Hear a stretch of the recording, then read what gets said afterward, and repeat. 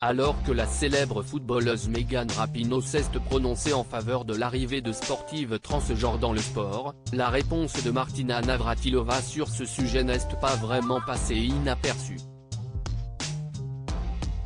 Si est une question qui revient régulièrement dans l'actualité sportive et qui continue de faire débat? De plus en plus d'athlètes transgenres souhaitent participer à des compétitions professionnelles et récemment, la star américaine du football, Megan Rapinoe, s'est prononcée favorablement sur la question.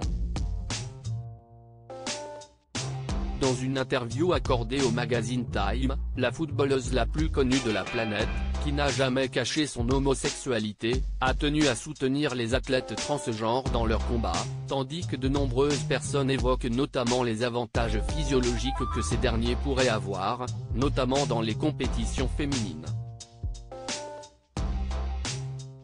S'il y a une sportive qui n'a pas sa langue dans sa poche, si est bien Martina Navratilova et la légende du tennis n'a pas tardé à donner son avis sur la question.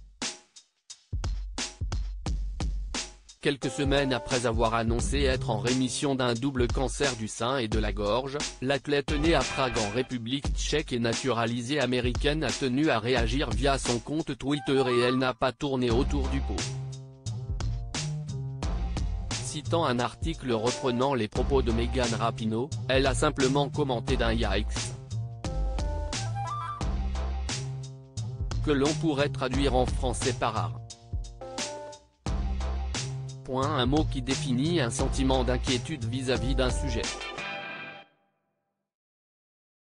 On comprend donc que Martina Navratilova n'est pas vraiment pour l'introduction d'athlètes transgenres dans les compétitions féminines.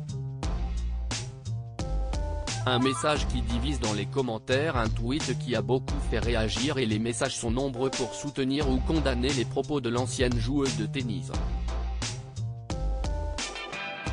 Merci Martina de soutenir le sport féminin, répond une internaute, tandis qu'une autre a un avis bien différent, après la fin de sa carrière et une fois qu'elle n'a plus à gérer ce genre de choses, elle balance ses jeunes filles sous les roues du bus.